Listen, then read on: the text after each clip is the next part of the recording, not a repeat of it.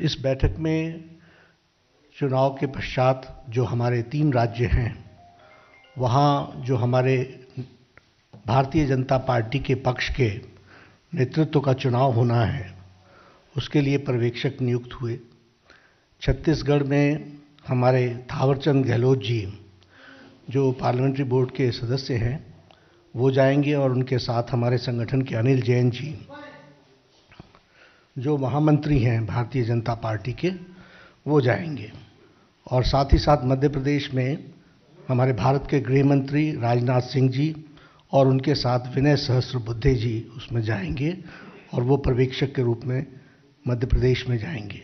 राजस्थान में हमारे अरुण जेटली जी, जो वित्त मंत्री और पार्लियामेंट्री बोर्ड के सदस्य हैं, वो उसमें भाग लेंगे और उनके साथ हमारे अविनाश राय खन्ना जी जो वहाँ के प्रभारी हैं वो साथ रहेंगे। बैठक की तिथियाँ प्रदेश के इकाई के साथ बातचीत करके तय होगी, क्योंकि विधायक दल के सभी विधायकों को आना है और उनके साथ समय अनुसार तय करके करेंगे और तत्पश्चात नेतृत्व के चुनाव की दृष्टि से प्रक्रिया पूरी होगी।